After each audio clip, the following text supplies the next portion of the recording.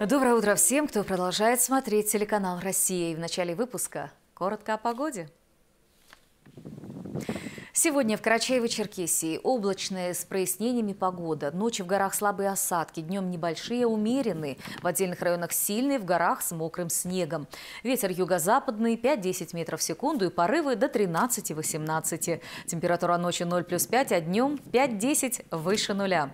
В горах ночью будет до 3 градусов мороза, а днем 0 плюс 5. В Черкеске сегодня слабый дождь. Ветер юго-западный 5-10 метров в секунду и порывы до 15. Температура ночи плюс 2, плюс 4, а днем 6-8 градусов тепла. В Москве прошла выставка «Северный Кавказ. Семь историй», где были представлены работы молодых фотографов из семи регионов Северного Кавказа.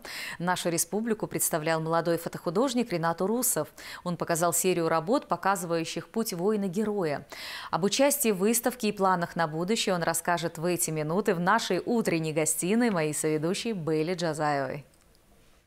Доброе утро всем. Доброе утро, Ренат. Я Доброе благодарю утро. тебя за то, что ты нашел время и пришел сегодня к нам в гости. Ренат, мы знаем, что в Москве прошла интересная выставка под названием «Северный Кавказ. Семь историй», где были представлены работы семи молодых художников из всех регионов Северного Кавказа. Как ты оказался в этом списке?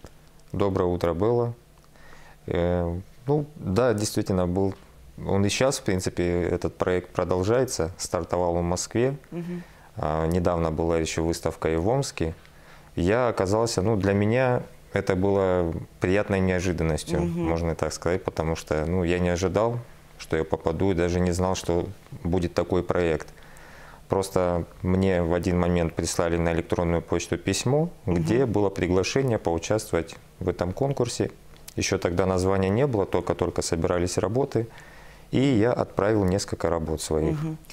Ну, если говорить о твоих работах, представленных вот на этой выставке, насколько я знаю, это триптих, который рассказывает о пути воина-горца, да? Вот если можно поподробнее, что за работу ты представил? Ну да, это основные работы, которые были под прицелом, так скажем. Эти работы были сделаны в рамках фестиваля «Два крыла», который проходил у нас в прошлом году на территории Карачаева-Черкесии на Медовых водопадов, ту- туристический комплекс. И в рамках этого проекта мы проводили мастер-класс. Из Москвы приезжал очень знаменитый фотохудожник Татьяна Кишельгов, которая, собственно, и была организатором этого мастер-класса. Также туда были подкреплены и дизайнеры, и костюмеры, и визажисты, то есть целая группа Работала. модели, да. И мы проводили эту фотосъемку на склоне Бермамыта.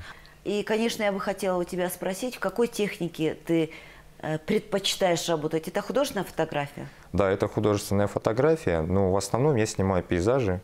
Я веду и паблики, есть у меня страница и в Инстаграме, и в социальных сетях. То есть в основном мой зритель, он видит пейзажи.